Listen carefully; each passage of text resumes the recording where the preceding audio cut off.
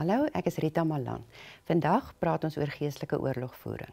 Ons het reeds gesê dat trauma mens beïnvloed nie net in jou liggaam en jou siel nie, maar ook in jou gees. En hierdie geestelike komponent van trauma moet ons baie keer aanspreek deur geestelike oorlogvoering. En hoe doen ons dit? Ons doen dit deur gebed. So met ander woorde, ons bid vir bevryding.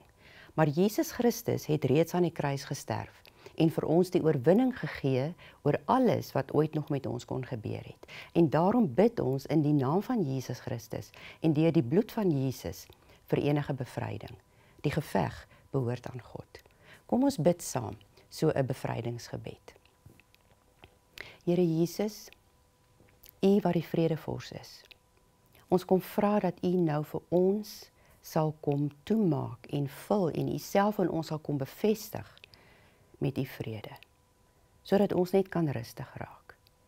Maar Here, ons vra ook dat U vir ons sal kom toemaak met die krag van U liefde en dat U ons onder die beskerming van U bloed sal kom plaas. Here, ons bid nou dat elke poging van die bose wat probeer om met die magte van die duister ons in die tronk van trauma opgesluit te hou, dat U dit nou sal kom vernietig in die naam van Jesus Christus en dat u lig in ons sal kom inskyn in elke plek waar daar donker is. Ons vra ook Here dat u asseblief daar waar ons miskien 'n doodsheid in ons voel, dat u vir ons sal kom lewe gee met u lewende water. Here ons bid ook dat u nou elke effek van trauma of dit nou skok of pyn of hartseer of woede is, negatiewe gedagtes, Ons bid nou dat U dit sal kom vat by ons. Om die waarheid te sê, Here, ons kom sit dit by die kruis.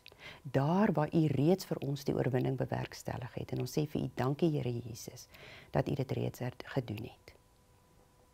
Ons as U kinders het nie 'n gees van vrees nie, maar ons het 'n gees van krag en liefde en selfbeheersing.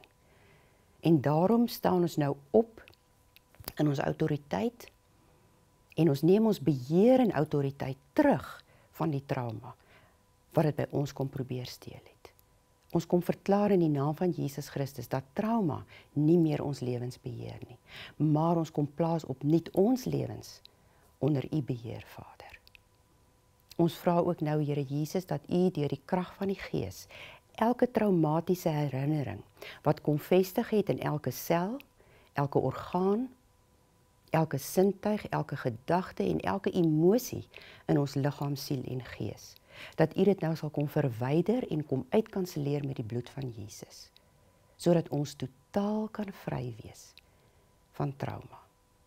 Here God, ons kom gee aan U al die eer vir die bevryding van ons trauma. Ons bid dit in die naam van Jesus Christus. Amen.